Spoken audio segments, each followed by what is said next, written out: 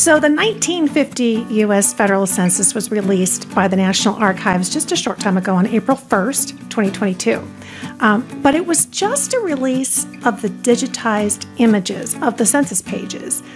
The indexing of those records happens afterwards, and it's really the indexing that makes it possible, of course, for all of us to be able to search the records and find our families. So, here to tell us about that really important indexing project to get all this done is Jim Ericson, and he is from Family Search, and they are heading up this project.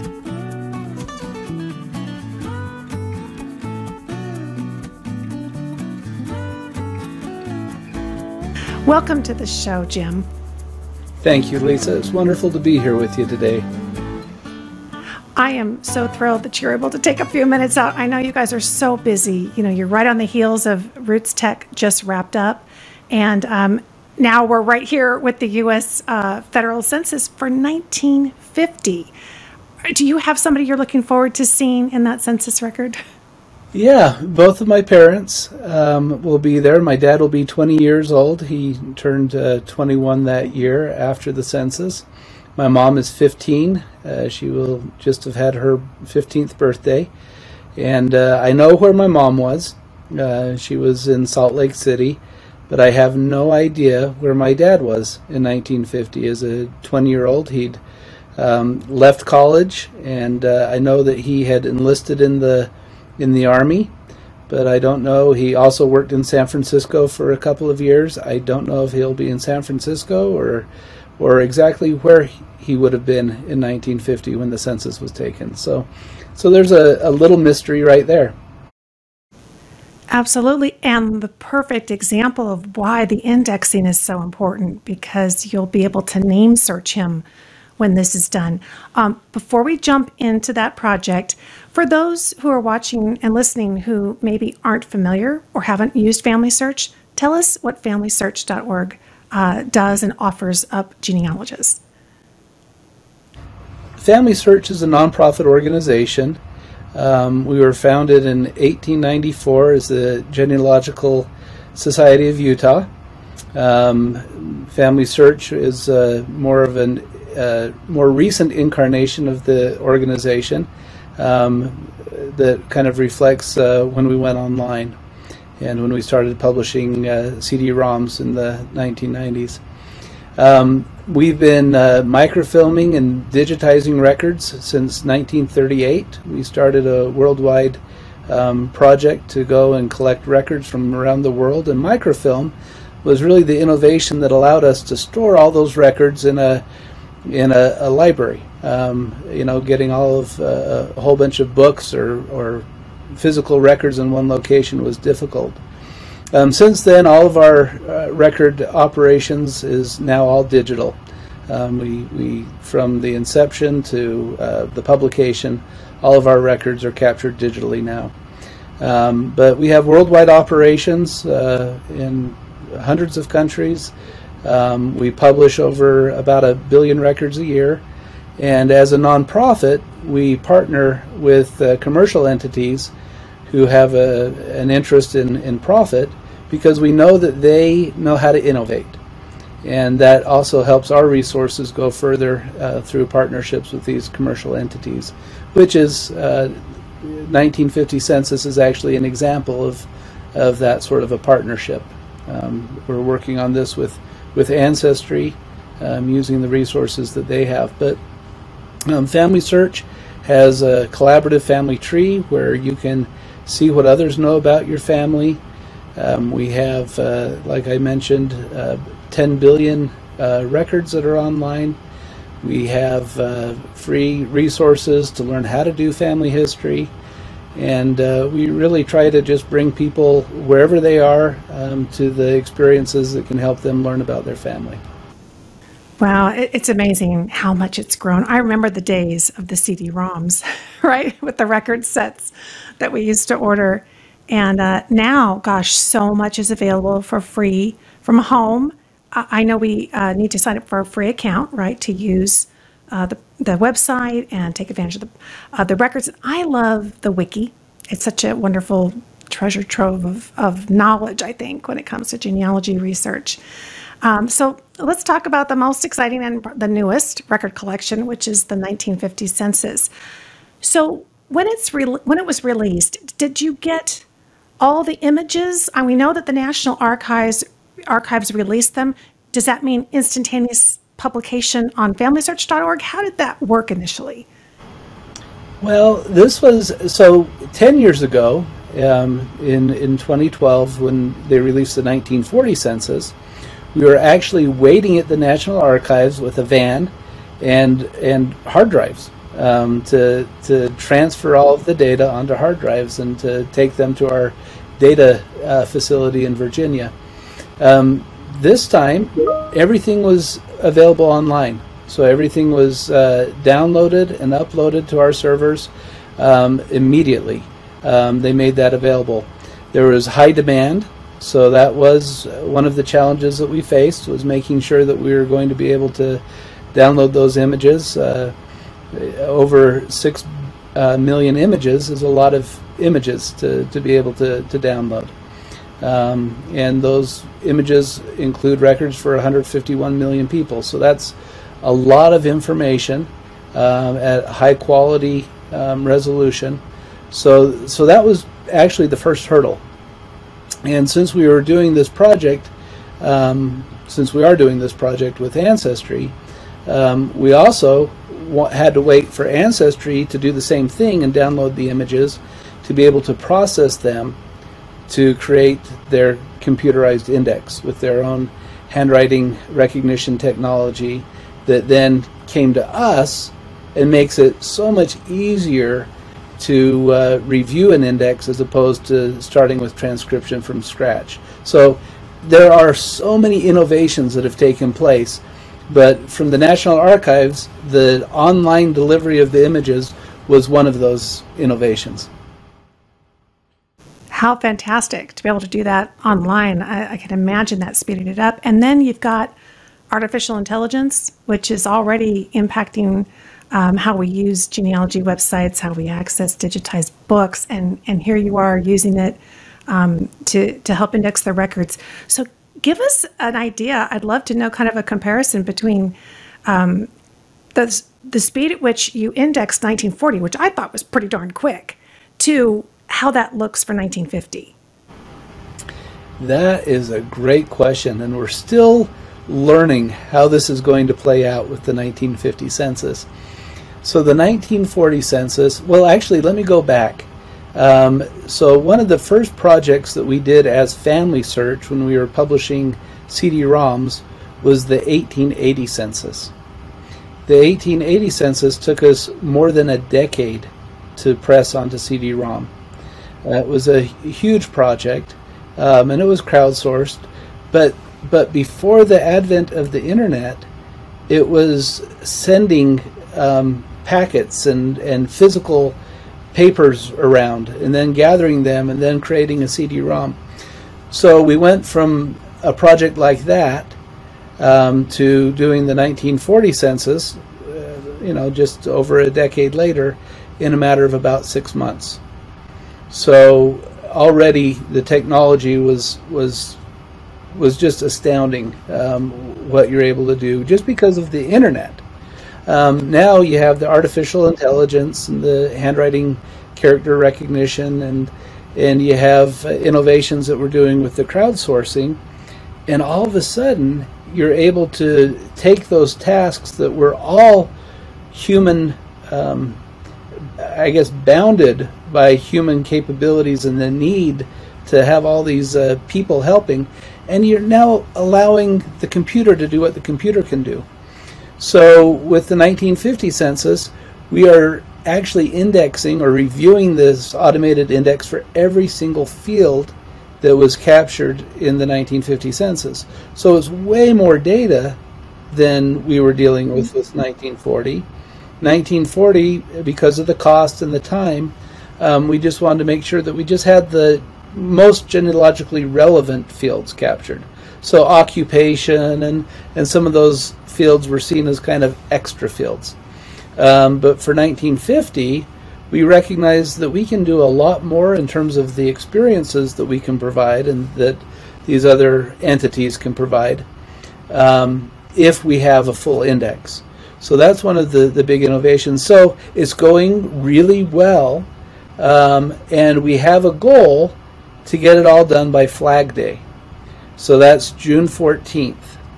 So that will be about about really two months from when we really got the project going um, and kind of came up to speed till its conclusion, if we can get there.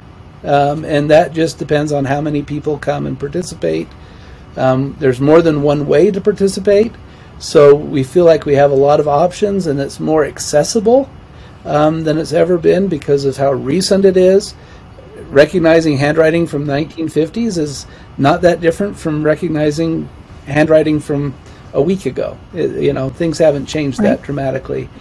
And so it's, it's a really accessible experience. And these are people that everybody knows.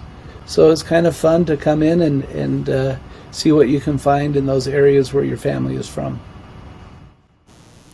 Exactly. Uh, before we talk about how people can kind of get involved in the project, you know, you said something which I, I hope that uh, everybody listening and watching really appreciates, which is every field. I mean, you must have gotten excited when you heard that that was really going to be possible. I know, just hearing it myself, I'm like, that's a game changer because now you can slice and dice data in so many ways. You can look up everybody who worked on the railroad or everybody who, you know, whatever the fields are that were filled out. Uh, what do you think the impact will that change anything about genealogy research? Yes, it, will. Um, and not just genealogical research, but understanding yeah. the makeup of our country in 1950 um, and really understanding the, the history of our nation, um, because that is part of your family history, um, is enabled yeah. by capturing those additional fields. So being able to see um, you know, differences in income, um, differences in occupation from region to region, um, being able to easily see neighborhoods. Um, the address for the 1950 census is similar to the 1940 census in that it's a vertical capture down the side of the, the forms.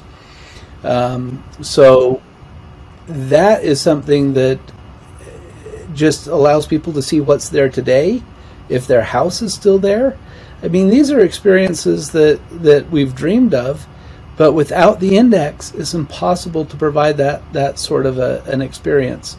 And so now, with the commercial entities and what we're trying to do, you're going to have a lot of different experiences now that are unlocked and available um, because of these innovations, and especially um, what Ancestry has enabled us to do with this uh, computer aided index that they've created. Since you're partnering together, is it available at Ancestry for free as well as for Family Search?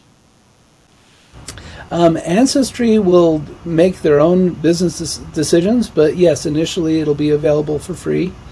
Um, they've opened up the 1940 census recently, and that, that's been available for free.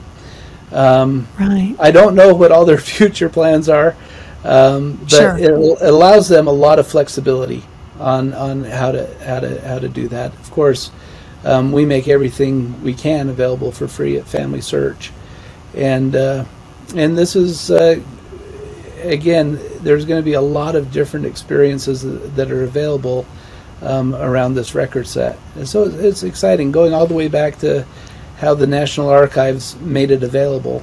It's really democratizing the, the records and allowing people. I think their goal is to just make it accessible to as many people as possible. And then it's these other organizations that, that have a vision for, for what they can do with those records.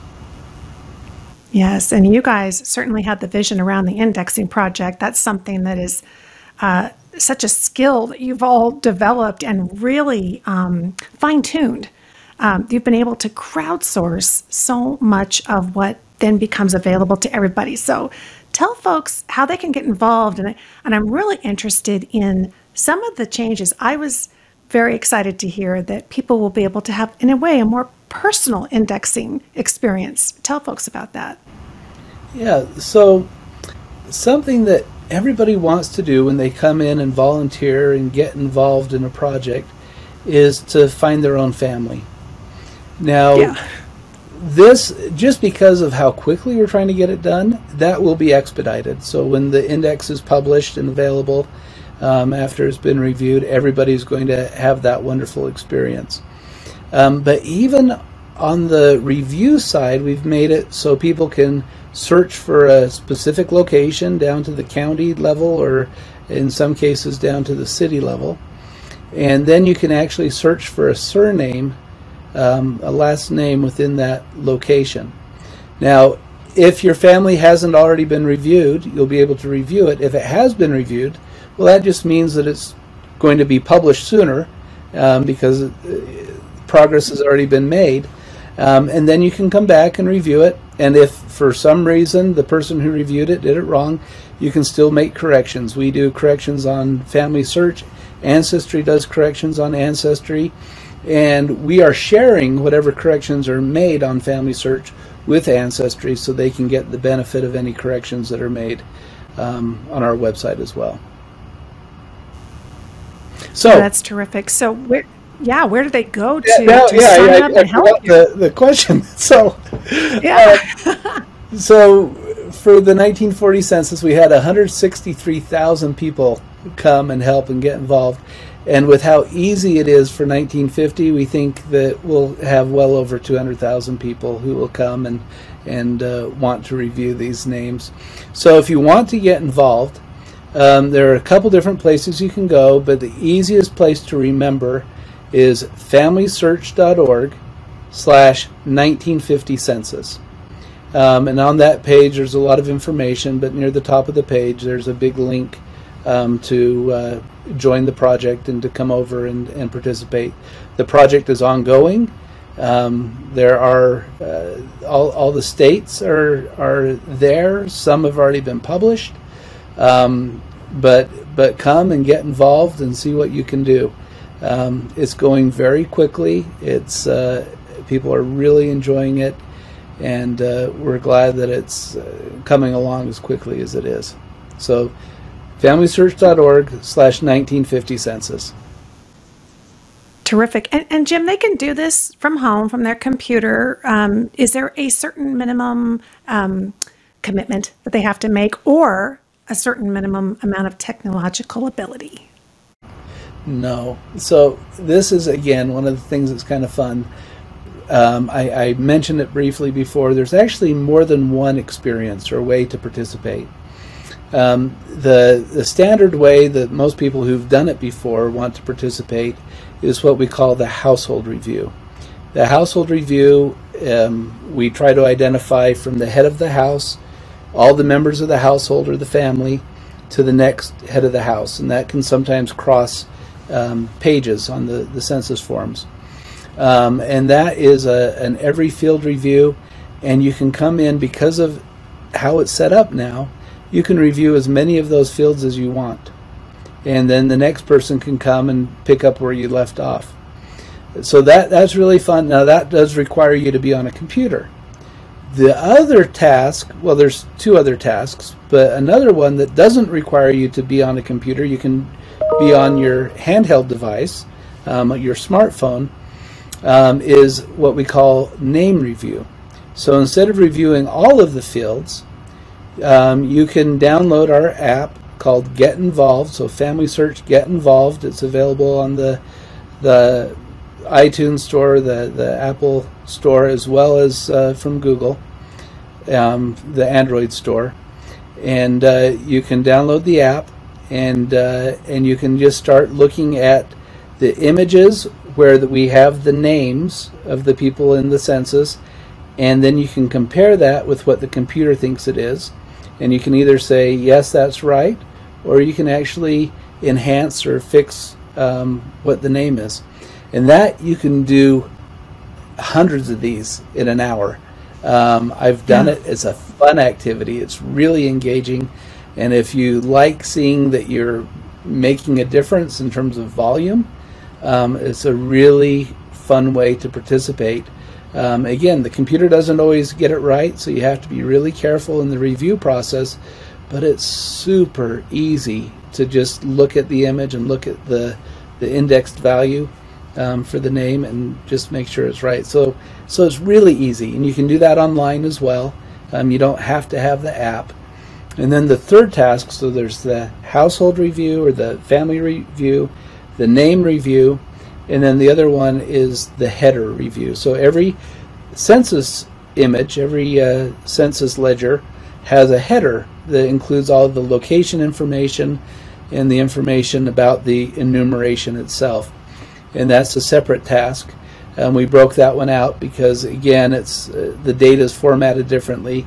So if you want to go in and help us, those have to be done as well uh, to be able to, to publish the, the data set. So we'd invite you to come in and see what states um, still have the, the header review available and to help us finish out that as well. It's not, for a lot of people, it's not as exciting because it doesn't include the names of the people, um, but it still has to be done to be able to publish the reviewed index.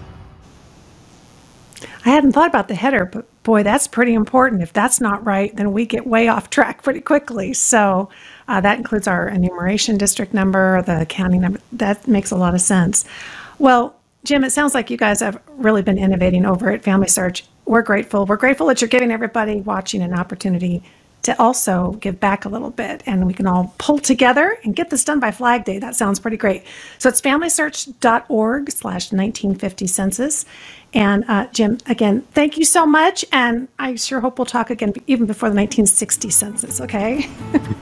I hope so. Thank you lisa. It's been a pleasure to be with you today. Thanks so much for joining me for this video. I hope you enjoyed it. And uh, if you did, and you'd like to learn more about how to find your family history, come to genealogygems.com. Uh, there at my website, you can sign up for my free email newsletter. It comes out each week. It will tell you all the new stuff that's happening, including the Genealogy Gems podcast and our videos, and of course, premium membership. Thank you so much for watching, my friends. I'll talk to you soon.